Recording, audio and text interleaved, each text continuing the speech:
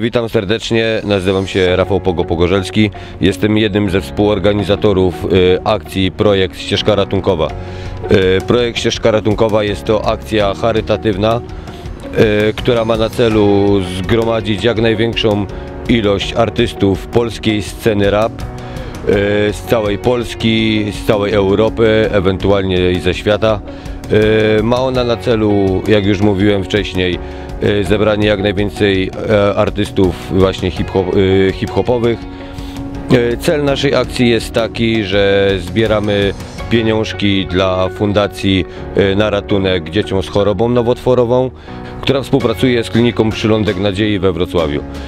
E, Naszym celem jest uzbieranie jak największej sumy pieniędzy właśnie dla tych dzieciaczków.